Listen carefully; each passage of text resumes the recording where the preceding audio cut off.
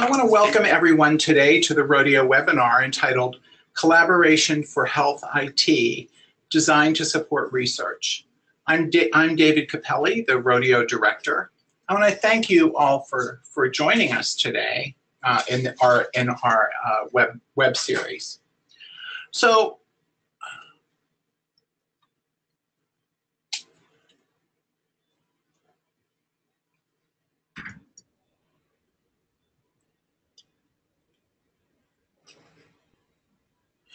So before we, we um, introduce our speakers for today, I wanted to share a little bit about um, ROHDEO and what ROHDEO is.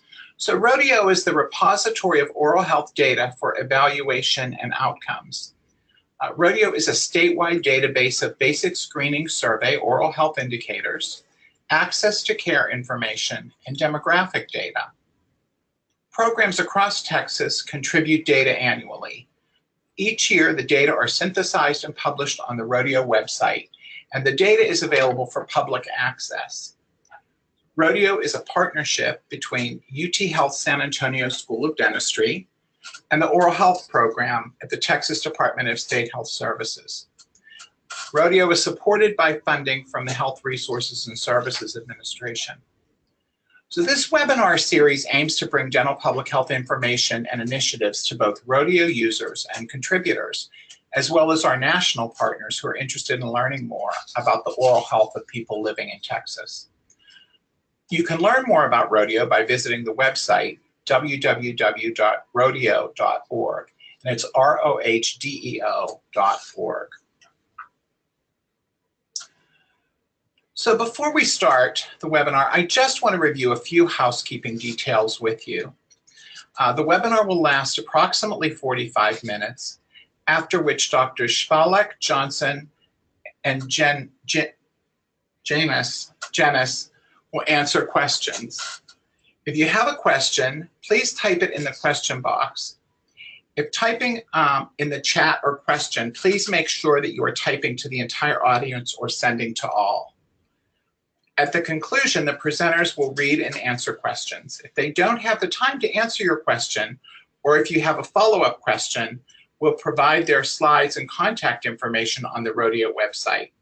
Or you can email us at the rodeo.utusca.edu. So it's, um, and we'll connect you uh, with the speaker.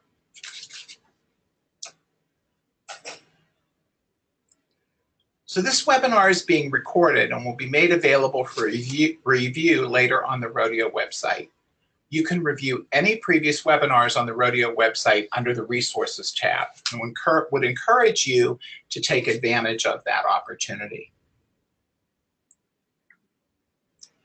This webinar will set the stage by explaining the founding principles of the Collaboration for Health IT and how these how three dental schools in collaboration with Internet 2 and ICE Health Systems created a vision to develop an electronic dental record that supports their missions as research-intensive institutions.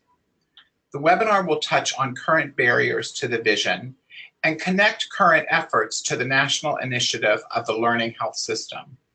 The presenters will conclude by triggering a discussion with the question, what would an electronic health record or EHR system look like that dentists suddenly can't live without? So let me take this opportunity to introduce our three speakers for this afternoon. Dr. Lynn Johnson is the Associate Dean for Faculty Affairs and Institutional Effectiveness at the University of Michigan School of Dentistry. Prior to her appointment at Michigan, she was the Director of Educational Methodology and Instructional Technology for the University of Iowa College of Dentistry. She is an active member of the IADR and ADEA and serves as a charter member for the iTunes U Advisory Board with Apple.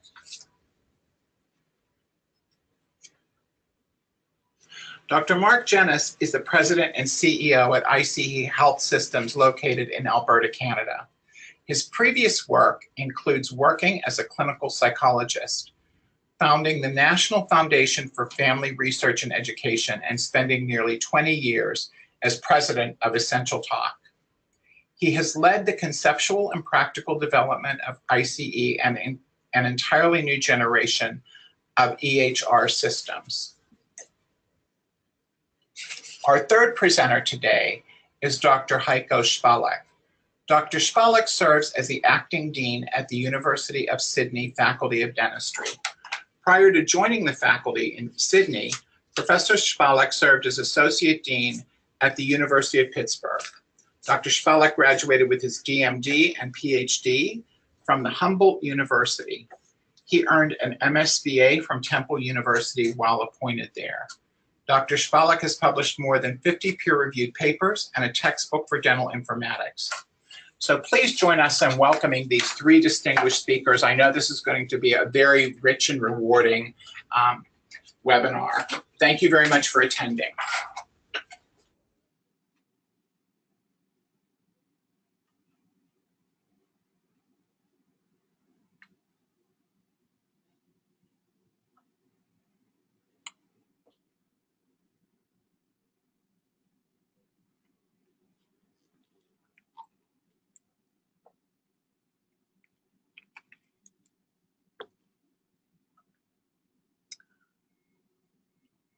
So greetings, this is Lynn Johnson, and I'm going to start the webinar.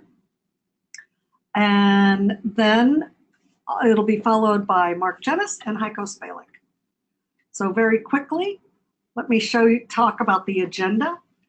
I will be talking about the collaboration and its founding principles. And then Mark will give a demonstration of ICE. And then finally, Heiko will talk about our vision for research. On to disclosures, um, let me be clear that uh, the University of Michigan is the sponsoring institution of this project with Internet 2. And we've received no financial compensation, and I personally have filed any conflict of interest, conflict of commitment documentation that the university requires. Heiko, again, no financial compensation. He has received an un, unrestricted travel support to attend national meetings, and he also has filed the necessary information uh, required by the University of Sydney. And then finally, Mark is the owner and founder of ICE Health Systems. So why a collaboration? It is for those of us who have used electronic health records, we know that they're a foundational tool and the data that's used uh, in them or compiled by them can be used for research purposes and to around personal and population health. However, however, uh, frequently research is an afterthought and these systems are not built to support research. So we thought that researchers should be driving the software development and not relying on the technologists to do it. And we were fortunate to find uh, a company with a CEO with background in research uh, who understands and supports that need. All right, so with research first, let me show you talk briefly about how we get work done and how we are organized. We have an advisory board. Um, Mark, could we go to the next slide, please? Yep, there you are. We have an advisory board, and as work needs to be done, the advisory board pulls together uh, a working group. The working group can, from across where, whatever we need, whatever uh, expertise we need, uh, we reach out and we find those groups. So this is just a brief, these are the highlights of work that has been completed. You'll see caries coding, caries charting, diagnostic codes, work on data migration. Oh, not yet. Back one, please. Oh, okay. Um, billing, perio charting, ortho charting, security, legal agreements, single sign-on, two-factor authentication, and telehealth all this work has been completed and developed. Um, and the red circles are those codes, caries codes and diagnostic codes that support, specifically, that support research. what work are we doing now? Uh, okay, let me wait just a moment for the slide. Yep. Implementation of telehealth is going. Security. Notice all of these are green because they continue, even though work is done, they continue to be improved. Security is ongoing. ICE Health Systems is a cloud-based electronic health record, and security is paramount. Uh, so there's, we'll talk more about security, but it is, it will never stop. We continue to do work on training materials as new versions of ICE are rolled out. How to implement a cloud EHR. There's always research questions, and Heiko will talk more about that. We bring patient care deans together, uh, electronic prescriptions, dental labs, grading, patient portal, oral pathology charting, Epic integration, and always billing and testing. Although these systems do great at billing, we're focused on the research portion. Let me talk about Epic integration just briefly. Epic happens to be at academic medical centers the most popular uh, electronic medical record. And we are working at least closely here at Michigan. We are able to pull data out of Epic and now move it into ICE. Uh, I will tell you that going the other way, moving from the dental school data we've curated and putting it into our hospital's Epic system is kind of a political conversation, to say it nicely. It, it's going to take a while to have that happening smoothly. In the beginning, I'm going to go on to founding principles now. When we first started this project, we had seven founding principles. I'm not going to talk very much about the first three, other than mention that we want good clinical experiences for our practitioners. We want to support student learning and have good collaboration and communication practices. But it's the next ones, uh, and of course, the best software engineering practices. But it's the last four that I want to spend some time on because those are key to supporting research and one of our most one of the research topics we are most interested in is a learning health system. Security. Uh, from the beginning, we wanted to exceed security regulations. Um, and working with Internet 2, that was extremely beneficial because they introduced us to a Cloud Security Alliance, which is a standard security standard. Um, next slide, please.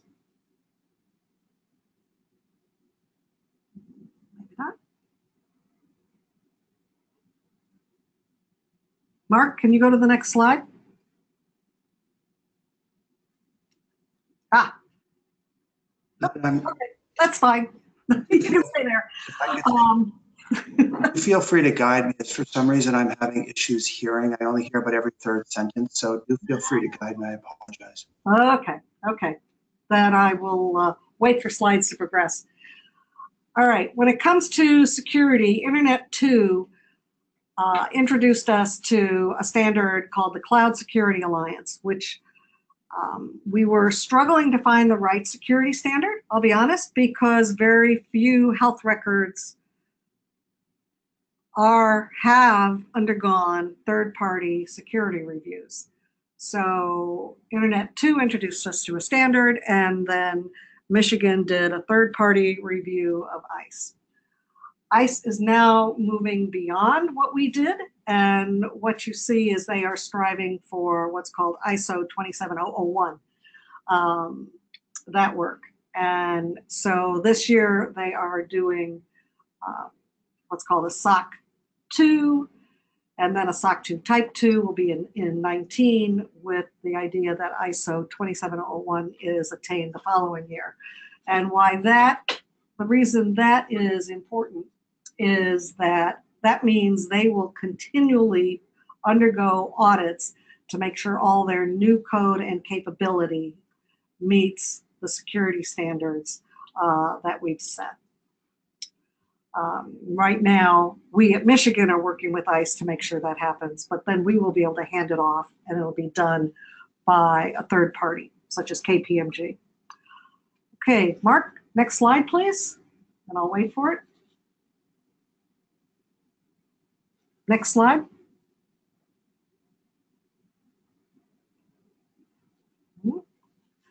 Great. So from the very beginning, we want, these are standards we're using. And from the very beginning, we wanted to make sure that we did not invent standards.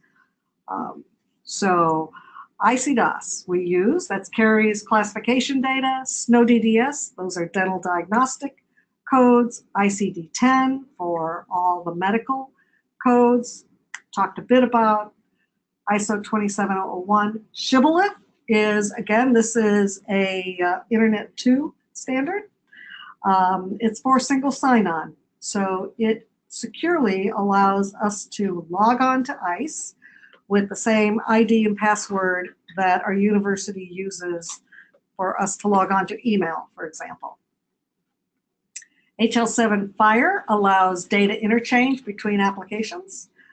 Um, and then the International Conference on Harmonization Guidelines for Good Clinical Practice.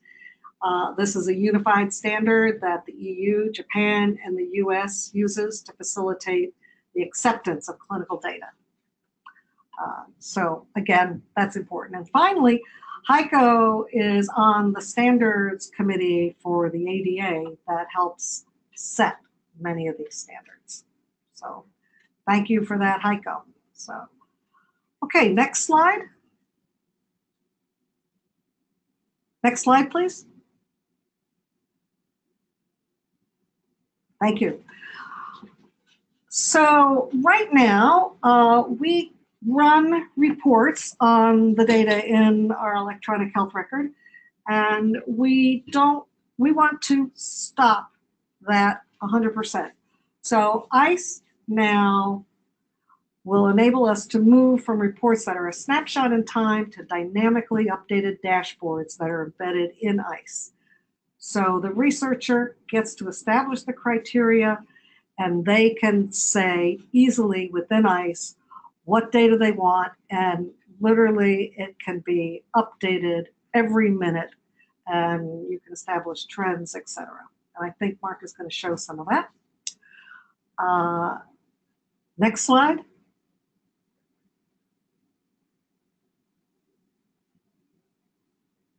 That's it, okay. And the last element I wanted to mention is interoperability. And remember we talked about uh, HL7 and FHIR. Uh, what we are doing by using standards is we have, we, ICE has uh, built interoperability with Google Glass, Lexicomp, which is a drug database, a medical support system, and Fitbit. And as a matter of fact, you see just a quick screen grab of uh, Fitbit data going into ICE and being displayed there. Underway right now is integration with MiPACS. I mentioned Epic, and we are slowly moving forward. Getting, we have to get through some security hurdles here um, in our integration with DoseSpot, an electric prescription system, electronic prescription system. All right, I'm now going to move it over to Mark for a demonstration.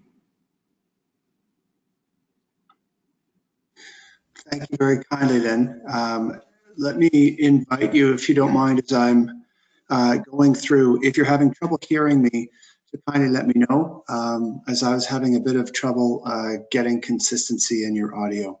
Welcome, everyone. My name is Mark Jennis, and it's a pleasure to be here. I'm going to provide just a, a, a brief demonstration of some of the components that Lynn touched on uh, within the system. It's a live demo. Um, I am online on a wireless connection uh, outside of the office, and so it's a sort of true uh, demo, if you will. And I'll be interested in your thoughts and questions. Just a little bit about the structure as we go into the system. The way that the collaboration has guided ICE is in generally this form. So of course, there is a patient chart and a patient record, and we'll look a little bit at the patient chart around uh, entering data for ICDAS, for example, to hopefully see that the your colleagues have found uh, have been very sensitive to the ease of data entry from a clinician, as well as the ease of data out for the researcher. There's a provider dashboard, and this just allows a clinician or or a financial person or a researcher to see personalized information on uh, that they wish, and we'll show you that. And then a practice lever dashboard where an area effectively you can do some business intelligence. We've been working with uh, Julian Fisher at Hannover Medical School on a presentation for the WHO, and I'll show you the, some of the work uh, that he's put together within the system and some of the customized data uh, and expanded data outside of what's generally considered a normal health record that he's helped us put in. There's also a patient portal area and an area for professional collaborations. We won't get into those today uh, because they've restricted me to 15 minutes. So um, I won't be able to take the rest of the afternoon, but I uh, would be happy to do that another time as I enjoy showing this off just a little bit too much. Uh, the other component that the collaboration built in is Lynn talked about interoperability and she talked about standards. And all are very critical. From a collaborative perspective, the other aspect of that is a concept of sharing. Um, this way, as working groups are working on content and information, even asking interesting questions and creating interesting reports and so forth, there needed to be a way for the professional community to share that information easily and efficiently. So you can do that within, let's say, the University of Michigan within the school, but what about another university, let's say in Mexico or in another country or across the country, wishing to collaborate with them, do joint research and use uh, jointly some of the same content and the same work. So uh, within the system, an item you don't see, but within there as well, is the ability to share forms and reports and information such as that across accounts so that you can truly adapt and adopt standards across institutions so that you can work together properly. And then out from there, the uh, collaboration has also had the team build the concept of data warehousing. One important, slightly technical component is because Heiko and Lynn and the others thought through the concept of supporting research from the very beginning. The architects designing the system have built a data structure and a mechanism for the data structure so that everyone has exactly the same data structure. There's lots of customization and configuration and all sorts of things, However, the base data structure that every account has is the same. And what that allows us to do is allows us to do warehousing of accounts together from anywhere in the world in real time so that we can bring accounts together very, very quickly. Researchers can be seeing up-to-date information from all over the world at any time. And so hopefully making research um, efficient, uh, making the data increasingly reliable and valid with the standards, uh, and hopefully shortening the time that the Institute of Medicine, um, if you will, wrote about being 17 years to get information to application, hopefully reducing that time because of the efficiency of the data structure and the ease of access for the professional community. So that's a little bit about the structure of it. If I may, I'm just going to go in and provide a brief demonstration of a couple of these components and concepts in the system. So here we're on using Google Chrome, and here is a very simple front page. As Lynn said, one item is connection with Shibboleth. Uh, also, any SAML2 compliant uh, single sign-on system. So we're using Google at ICE. So as such, I don't have a username and password. I single click and get in. And it knows who I am, and it's properly and appropriately secure, and so forth. Okay. So within here, um, there is a practice level, a provider level, and a patient level dashboard. And I'm just going to go straight over to the practice level. And I'll show you the work that Julian uh, was doing and presented to the WHO Congress in October. Uh, and within here, uh, there are, you can see here these boxes, and these boxes are panels. And these panels are just information units to show uh, information within the system. And within that, uh, you can simply have an information example as a report. So here is a report that they wanted to run. And you can imagine this being any different clinic within a school or if it's warehoused, any multiple clinics around the world simultaneously gathering this data and it being warehoused in real time and accessible as intelligence to what's going on. So a few simple questions, and you can ask any question you wish. The whole database is exposed to you. Everything financial, clinical, administrative, otherwise, if you have non-communicable disease information, social determinants, et cetera, and so forth. So this one, they wanted to see BMI class uh, by age group. And so you can see the BMI classes here. And each of these vertical lines is different age group. You should note that all of these data are fictitious. They actually mean nothing. They're for demonstration purposes only. And if I want to see further what this actually means and see the actual numbers, there's a little item here on the side that allows me to go to my detailed list and I can actually see the report itself that I have created. So I can go back and forth between the visuals and the actual numbers. Another example here uh, is that of an ICDAS example. So with uh, Dr. Fontana, uh, also we created a, uh, a, simple report that showed different stages. We grouped different stages of ICDAS caries and um, looked at different variables around them and sorted them accordingly. So I can look at patient age, BMI class, area, surface, etc. And again, all of this information is real time. So as the data is going into the system in any of the clinics around the world, this information is being updated. And again, I'm not limited to the questions that I ask. And they've went further and did some what I think are some interesting reports as well, looking at social determinants such as education and abuse, and looked at the influence of these factors on the development of caries risk uh, within patients and so forth. So it was some, uh, I think, a lot of fun, really interesting stuff. And uh, as we now start moving to launches of the system, we'll move beyond fictitious data and demonstration and start doing real research, which will be very exciting. From an individual provider level, it's the same concept I can look at here as a simple example. For myself, I'm interested in, again, all this is fictitious, of looking at patients with severe pain, and I'm interested in diabetes and comparing patients with DM diabetes to those patients who don't across different age ranges. And so this is something that not for the whole institution. This is something that I, as an individual practitioner, I'm interested in. And so I have this on my own dashboard. I can have as many different reports running and ask as many different questions as I am interested in and get quite detailed. This one's quite simple. And again, as information is going into the system throughout, that information is coming back to me. On a patient level, uh, I can, uh, I'm just going to take a look at a particular patient a couple items with regards to the patient.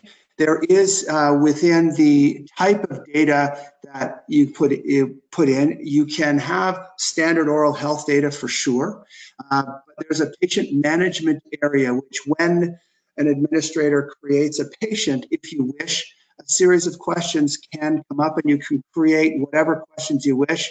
But there's a series of social determinant questions that we were asked to put in as an example of information uh, that could be then entered and made available for reports. And so you can see a series of questions around um, homelessness concerns, around abuse, around feeling unsafe, and so forth. So you can enter that as part of your patient creation, or you can enter that information as part of assessment questions in a report within the patient record if you so want. So you can do these as forms, they're traditionally called forms, or part of the patient creation process to make sure that data is put in. From a direct patient level uh, item, a couple of things to show you around data accessibility and access and customization. If you are working with caries risk assessment and or oral cancer risk or any other assessment that you would like as a researcher and or as a practitioner for patients, you can see the data from this assessment at any point in time. But what the collaboration asked for and the working group specifically requested was that they wanted to see trending information as opposed to one time, if you will, or static data. So with any assessment you want with your patient, you can see how information or how they're trending, and you can see every data point. And as I showed earlier, of course, you can actually see those numbers. So depending on what your needs are, you can and look at that data on a specific patient. And of course, caries risk assessment information you can look at across patients as well. Another item around this is the blood is the vitals information. Again, this is available for broader reports, but at a clinical base level, I can see how patients are trending on any vitals information, and I can see the actual date and timestamp and the actual data from any point as well within those items. So concept of exposing data, enabling uh, an array, a broad range of, of data related to any patient to be able to customize that without affecting the data structure has all been considered from day one, and that's very much on the collaboration. The company's been learning from them. They've provided incredible guidance to us, and so are essential in the successful use of the system from a research perspective, and we're most grateful. The last item, just as I finish up and turn it over to Heiko, is I just wanted to show you the concept of data entry into this and the use of standards. And I seem to have a very poor connection, so I apologize. It's taking uh, a bit of time for this chart to show up. So I apologize for that. And all I really wanted to show you was in working with the working group, uh, what the uh, collaboration thought through was the incorporation of the standard and then beyond just putting that information in, making that information available from a data perspective, but also making it easy for the, the clinician so that you would get your data. Because if you don't have a happy clinician, you won't have a happy researcher. So if I, for example, am observing lesions, they've got a, um, an odontogram here where I can identify any code, uh, any ICDAS code which I've gone to. I can select it very simply, and then I can select the tooth and or the teeth and areas uh, and um, surfaces where this applies look through, simply add it. It informs immediately my odontogram and informs immediately my treatment planning modules, and simultaneously, obviously, is becomes accessible in real time for reports.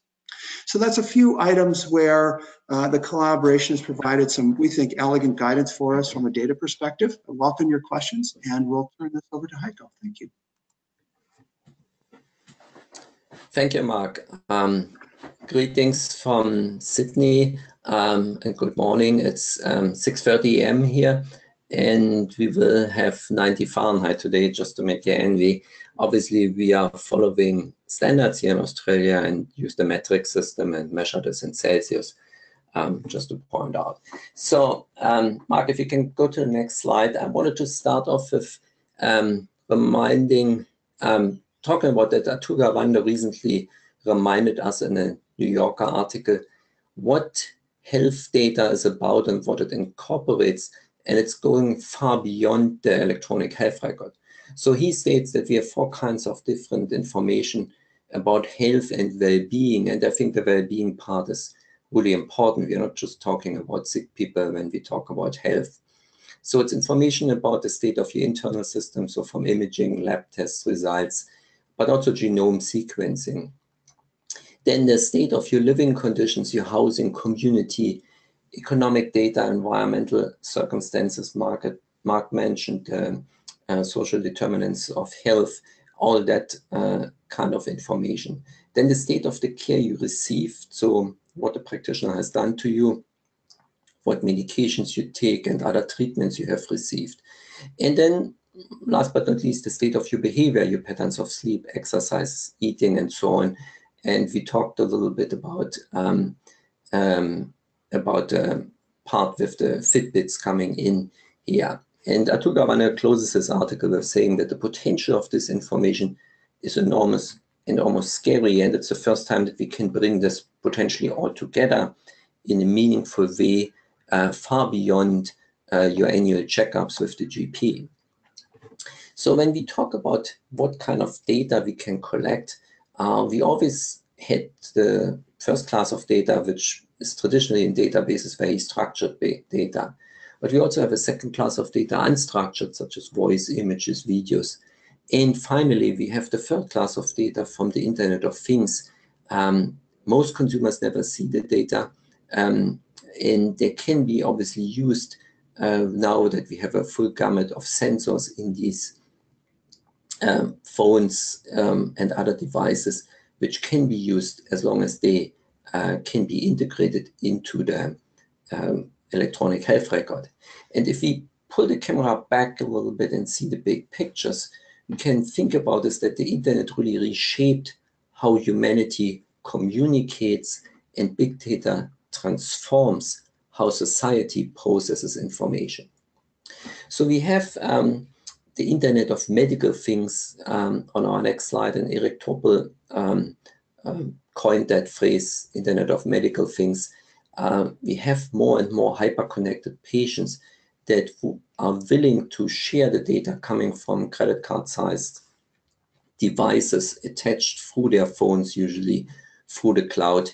And hundreds of mobile apps can capture all this data and then upload it. Again, the real important part is how do we integrate this into the uh, electronic health record in a meaningful way.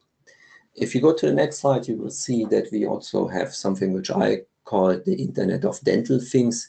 Here, the Kolibree dental toothbrush, once you brush your teeth through your smartphone via Bluetooth, your brushing habits get uploaded. Um, I still have to hear that these data get integrated into an electronic dental record. So again, um, the question of data is the interconnectivity and the use of data, not just a collection of data. The next slide shows that we have uh, more and more sensors and uh, due to time reasons, I don't want to go into this. Um, they're usually connected through uh, mobile phones. And the next slide actually shows that um, kind of um, connection or pipeline here, um, finally ending up, in this case, via FIS-IQ in Epic. And Lynn talked about our efforts also to efforts also to integrate data into Epic forward and backward to have the connectivity with the medical uh, record system because dentistry shouldn't stand as a silo. On the next slide, I want to talk a little bit about traditional electronic health records. Um, in, we always have stored data in big databases there and what do get these electronic health records right uh, for dentistry. So they're really good at billing. Uh, they clearly have improved legibility when you compare to paper. There's clearly better availability. You don't have to chase up records. Order entry systems work really well and alerts and reminders work well. So what do they get wrong at the moment? And I start again with alerts and reminders, which seem a little bit illogic, but we have too many of these. There's clearly alert fatigue everywhere. Um, data entry is often tedious and redundant. Uh, just think about each time you take a medical history of your patients. Um, I'm pretty sure the physician or GP has done the same thing a week earlier and put it into the medical record. Um, records are often incomplete uh, while we suffer from um, data overload. Um, also note bloat when you use um, templated notes, you have often too much text, nobody can read that. And it's very hard to navigate between these different screens. Um, so um, let's conceptually think about electronic health record. So what is it actually? Um, information technology is first of all a transport mechanism it carries digital information just as railroads carry goods and power grids carry electricity.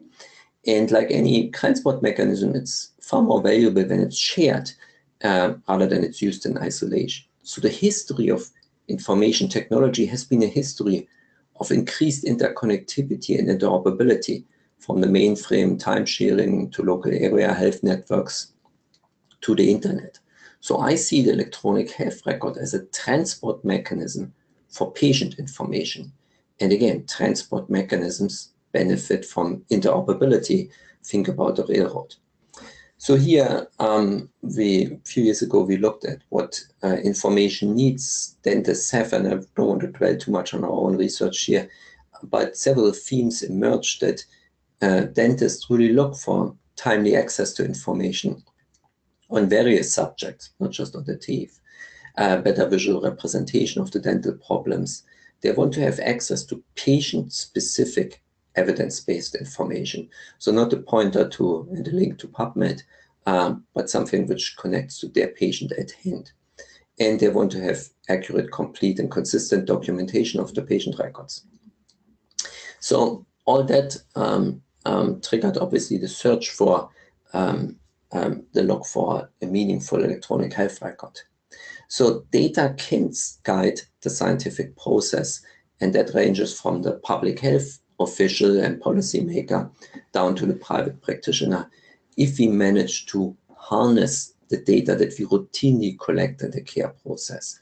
So we really want to support uh, the clinician who want to see the whole human being, not just the mouth and the teeth. Data can help us to transition from the focus on production to the focus on outcomes. Um, we have behaving a little bit like bean counters if you think about this. Um, we're really proud if we place more fillings this year than last year, but in doing this, we often forget that uh, this is really just counting how often we failed in our prevention efforts. Um, so I think we need to keep that in mind when we talk about data.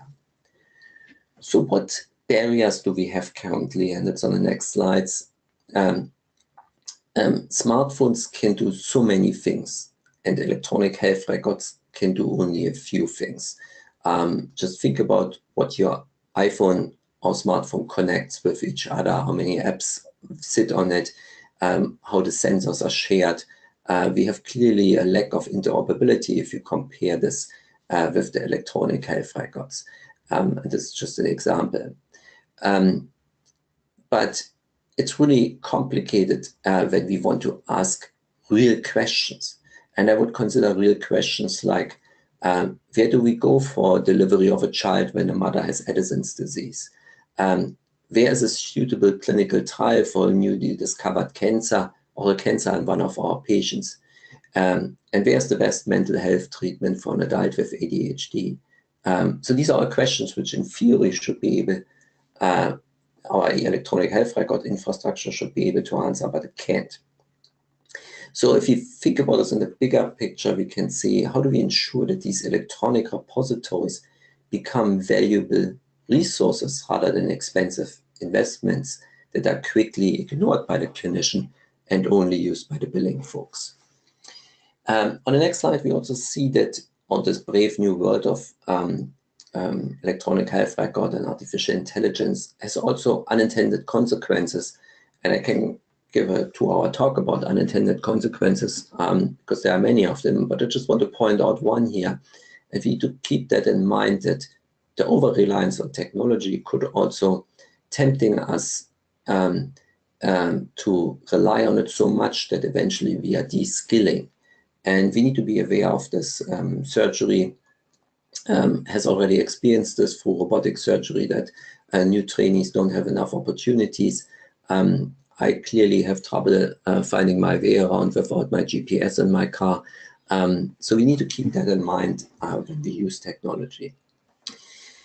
But we have more and more uh, informatics tools that help us. And I've put on the next slide um, um, a quote from a recent article from, uh, which was in the New England Journal, that the medical thinking has become vastly more complex and mirroring the changes in our patients, our healthcare system, and in medical science, the complexity of what's out there clearly exceeds the human mind.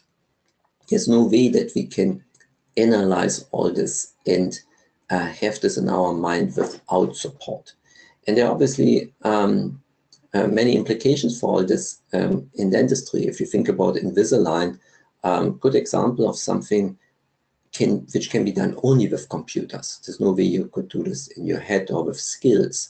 Um, and that's obviously one very um, specific example only. Um, we have um, have to think about this and need to be aware of this, that um, our students will ask questions, uh, will um, dental providers be pushed to the sidelines, uh, will, be will they be displaced? And I personally don't think so, at least not in the short run. Uh, but we need to keep these conversations open and, and be uh, mindful of them. Uh, I'm pretty sure 10 years ago, if you would have asked a cabbie if his job was in danger, he would said, no way, uh, you always need uh, cab drivers. Um, nowadays, it looks a little bit differently, and we also um, need to be in an open discussion about these topics. So if we think about on the next slide what data can be done, uh, and I often cite this example because I find it really intriguing. Um, so here, um, Mayo Clinic, United Health Group, it's a big insurance company, and Optum Lab, it's a bunch of very smart people, reproduced a $300 million trial that ran for five years using their data and their vast um, databases in just a few hours. So keep kind of think about this. So they, what was done for a lot of money in a long time, they reproduced in a few hours and they came to the same results. Um, not only would it have saved time to do it this way, but it also during the five years, presumably you could have um, saved uh, lives already following these new guidelines or outcomes of this trial. So when will we be able in dentistry to pull off something similar? I think we still have to think a little bit about that. Um, when we talk about data availability in a clinical setting, we often just talk and think about so that the dentist sits in front of a computer and looks uh, up how deep the root canal um, instrumentation was in the last session. But it goes far beyond that. We need to involve patients um, by making them part of the decision-making process. We need to uh, obviously provision data to the clinician so that they can make the right decision at the point of care with embedded evidence-based uh, um, medicine principles. Uh, we need to think about service provision. How do we allocate um, resources safely and quality? And we also need to keep the politicians in mind, the policymakers. How can we best um, um, ration limited resources? And that brings me to my last topic I want to briefly touch upon, and I'm pretty sure many of you have heard about the learning health system. Uh, it's a notion which uh, was um, initiated a few years ago by an IOM report, Best Care at Lower Cost, the Path to Continuous Health, Learning Healthcare in America. Um, and allow me just to read one sentence um, from this because that's at the heart of what we try to accomplish here in the collaboration um, and moving towards a learning health system. The foundation for a learning healthcare system is a continuous knowledge development, improvement, and application. Although unprecedented levels of information are available, patients and clinicians often lack, lack access to guidance that is relevant, timely, and useful for the circumstances at hand. And I think that sentence, or actually two sentences, are at the heart of what we try to accomplish and where we want to go. So if you look, for instance, at the next slide, it is extremely obvious that we need to connect the medical and the dental record. If you want to bring healthy lives and healthy mouths together, you need to bring electronic medical records and electronic dental records together. If we don't do this, I don't think we can really claim that we have safe and efficient patient care and um, that we can advance biomedical research and knowledge. So this is one of the um, pillars of um, our decision making process and our design in the collaboration. Uh, I had recently a discussion with NIDCR about some topics around data and um, a couple of questions which came up for which we currently don't have really good answers. Is maintaining a full dentition important for the older patient? I'm pretty sure there are many editorials about that, but what are the data um, here? Does pre-chemo dental therapy really help? What is the role of the dentition um, in uh, dialysis patients and the outcome? Um, and does dentition, healthy dentition, really improve overall health? Um, we all have intuitions about these questions, but do we really have answers?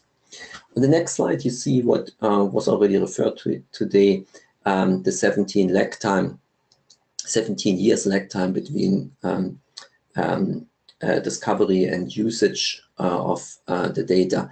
Um, I sometimes say tongue-in-cheek that we came already a, a long way here. Uh, many of you know um, the story of Ignaz Semmelweis, the Hungarian physician who observed that simply washing hands could drastically reduce high rates of maternal death during childbirth. And um, it took us 164 years until half of the clinicians in the US actually wash their hands before seeing a patient. And now we know that it takes 17 years um, to um, uh, from discovery to implementation. Um, Lynn and I postulated a few years ago at an IDR workshop that we should get to 17 months. But in order to do this, we need to do what's on the left side uh, when you think about the learning health system. We can't study data, analyze them, interpret results, and write a paper. We have to do what's in the upper left corner here um, of the slide. We have to develop a tailored message and take actions in the health system. We can't stop with writing a paper. And the learning health system accomplishes this by having uh, five characteristics, which are displayed on the next slide. Every patient characteristic and experience is available for study. Obviously, privacy and consent um, provided. Best practice knowledge is immediately available to support in decision making. The improvements are continuous through ongoing studies, and this happens routinely and economically without much fuss uh, as part of the culture. So um, I want to show on the next slide, um, and I would encourage you to read this um, paper by Friedman, Rubin, and Sullivan, um, that the learning health system is a socio-technical system. It's not just an electronic health record, with the primary goal of uh, safely improving healthcare by reducing uh, the cost and um, re um, also reducing harm. it is the purposeful collection of data also outside the care experience that comes back to integrating other data. Uh, so we just shouldn't look only at the um, hospital settings and what happens in the hospital. And due to time, I don't want to go into the details, but it's essentially based on Edward Deming's work, a pioneer of systems thinking, who said, it is not good enough to do your best. You must know what you do and then do your best. So with this, I want to come to the last slide and um, open the discussion about what would an electronic health record system for dentistry look like that dentists suddenly can't live without anymore. Uh, and I think that's a big question, and that's what we, at least in the collaboration for FID, try to tackle. Thank you very much.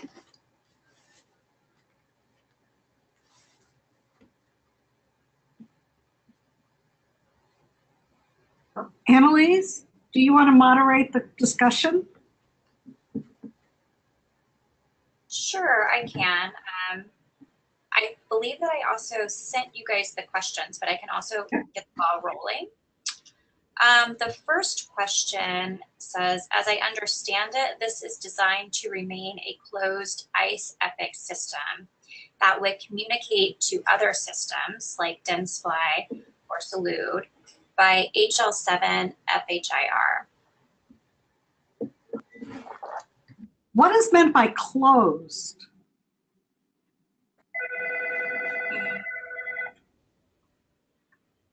It's, it's marked here and I. To try that? Sure, absolutely. So I, I concur with Lynn. The, the concept was open. Uh, and so using FHIR uh, and uh, ICE will integrate with and is integrated with many systems now and will continue to. Uh, the system itself, ICE, is built entirely on APIs and so has the ability to interoperate, if you will, with any electronic medical system, but then any other data gathering tool uh, in or outside of dentistry anywhere. So the concept really is what data do uh, professionals require, uh, from where uh, do they wish to require that data? And then as long as uh, there's an interoperable friend, if you will, on the other side, we can integrate with it. There, it, the concept has not been a closed system at all. It's been to entirely open up uh, communication data opportunities. And, and to expand a little bit further to the learning health system, by the time we attain that, which is going to be down the road, absolutely, but data will need to be flowing among systems pretty fluidly. So ICE is built to do that carefully.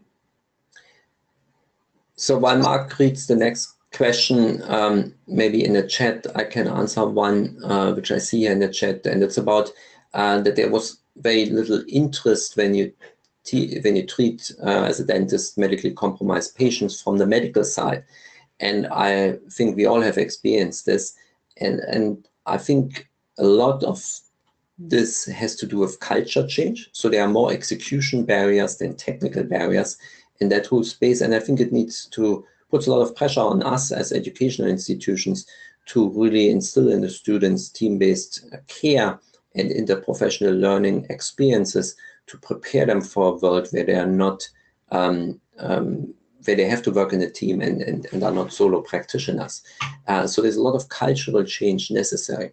But I think increasingly uh, there's pressure also on the healthcare delivery system. If you think about legislation uh, pushing towards uh, value-based care, and more outcomes, um, focus on outcomes, less uh, focus on production and uh, doing just procedures. So I think this is a complex area of culture change and it will require several different avenues to push for this and um, persuade and change behavior. Obviously, behavior change is uh, very hard to achieve, much, much harder than building uh, electronic health record systems. Mark would probably disagree with this, but um, uh, culture is the big thing. Yeah, that's a really good point. The technology is easy. The culture change is difficult. And Um, Mark, I just wanted to see if you saw the question on telehealth capability within ICE EHR. The question is, is this limited to sharing patient records between clinicians, e.g. specialist to general practitioner? Or also could it be used for patient consultations and education purposes? In the case of the latter, would this mean one needs an extended module that is in direct hand of a patient, e.g. in personal computer and mobile phone? Um, a beautiful question and, and an insightful question, actually. So the uh, the concept, the collaboration working group around telehealth uh, thought through the concept of community-based clinical instruction and education, uh, mentoring of colleagues and peers throughout the world, as well as direct patient consultation and telehealth support. And they thought through these multiple applications and help define and design the technology inside of the health records so that people conducting uh, the communications through the telehealth component had immediate and instant access within a proper secure framework to the whole of the patient record. Uh, so as such, uh, you are certainly uh, able to, and applications are now beginning to launch that cover direct patient consultation, that cover mentoring of colleagues, as well as cover instruction of students and supervision of students in remote locations. And the data, of course, from all of that is available as well.